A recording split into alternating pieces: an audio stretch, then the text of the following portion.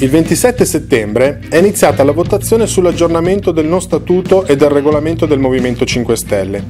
È un momento importante per tutti gli iscritti ed è fondamentale che tutti partecipino alla votazione, che chiuderà tra pochi giorni, il 26 ottobre. Ciascuno potrà dire la sua su delle importanti regole organizzative che determineranno la vita del movimento da qui in avanti. Siamo l'unica vera forza politica basata sulla partecipazione di tutti Perciò non far mancare il tuo voto.